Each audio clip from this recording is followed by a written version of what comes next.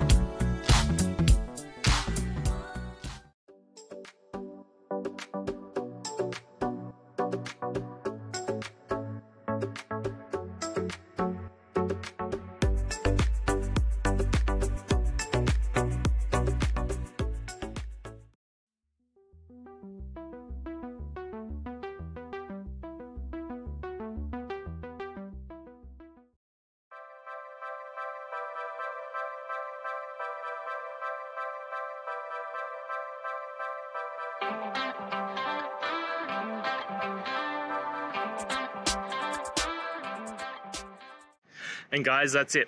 I hope this video has helped you get you through to that resolution you needed. If it did, please, I'd appreciate it if you hit subscribe. Now, until the next time that you need technical help, I hope you have a good one. Cheers.